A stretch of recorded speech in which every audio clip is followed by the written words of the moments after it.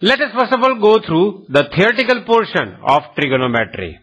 The short names of the trigonometric ratios like sine, cosine, tangent, cosecant, secant and cotangent are denoted as sine, cos, tan, cosec, sec and cot respectively. These are the six trigonometric ratios that we have.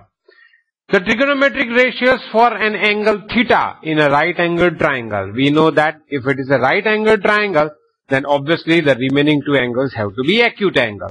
That means the condition for theta over here is that it is it should be an acute angle.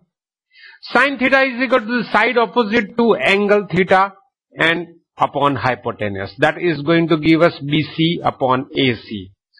Same way cos theta is equal to side adjacent to angle theta upon hypotenuse that is AB upon AC.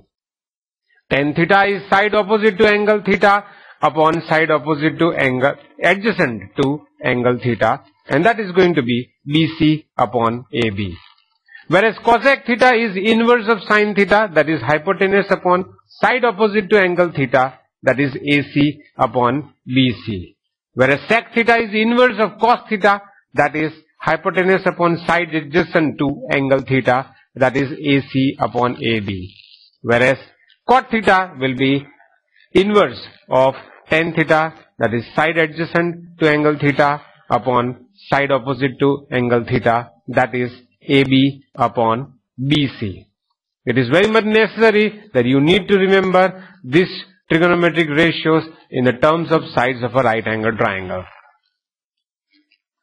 Also, sine theta the whole square or else the cos theta whole square, tan theta whole square or any square of any of the trigonometric ratios.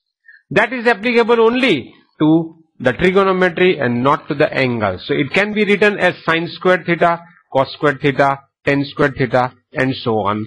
So, it is not necessary whenever we write on sine theta the whole square that means it is sine square theta.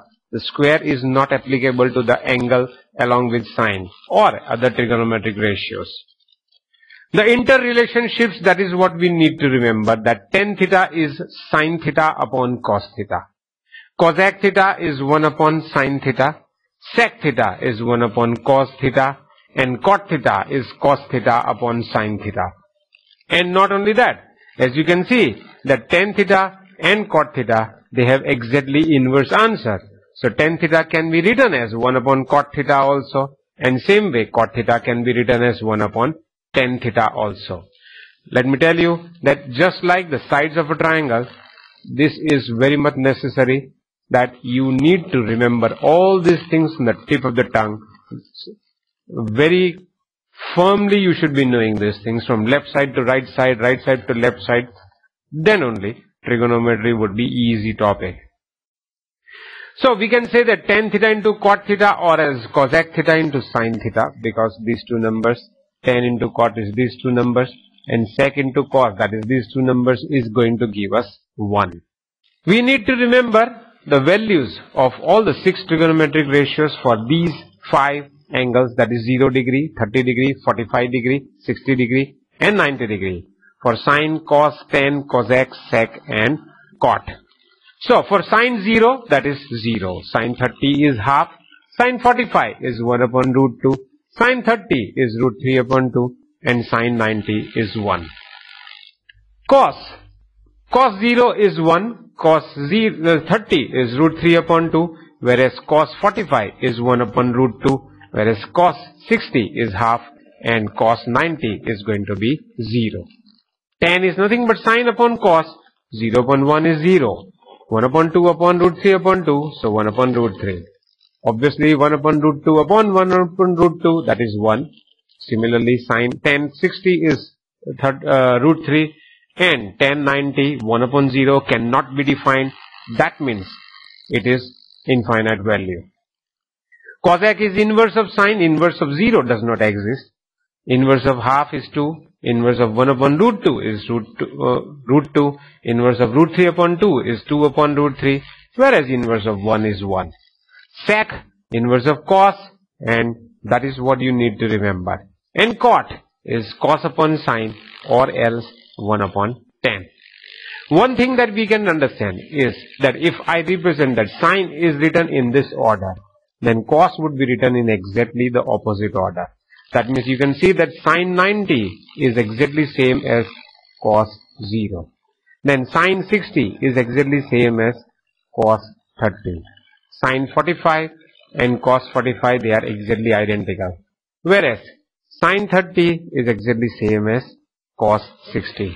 And same is the principle for sine 0 and cos 90. Tan can be written as sine upon cos. Cosec can be written as 1 upon sine. Now, if cosec is written in this order, then sec would be written exactly in the opposite order.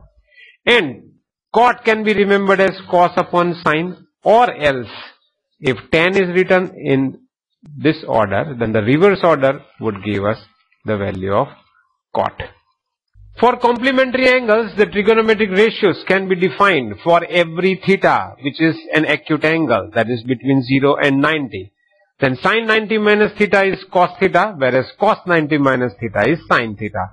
Same way for tan 90 minus theta is cot theta, and cot 90 minus theta is tan theta. Whereas cosec 90 minus theta is sec theta, and sec 90 minus theta is cosec theta and the identities that you need to remember in order to prove some of the proof type sums that is for every theta that is belonging to R once again theta should be an acute angle and that is sine squared theta plus cos squared theta is equal to 1.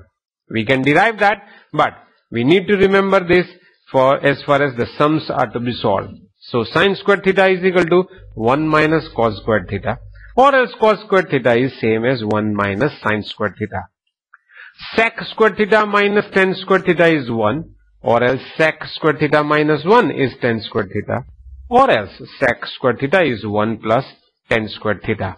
Same way cosec square theta minus cot square theta is 1 cosec square minus 1 that is cosec square theta minus 1 is cot square theta or else cosec square theta is equal to 1 plus cot square theta. These identities also you should be knowing how to write it down from left side to right side or from right side to left side. Very important examination point of view and in order to solve the main proof type sums of trigonometry.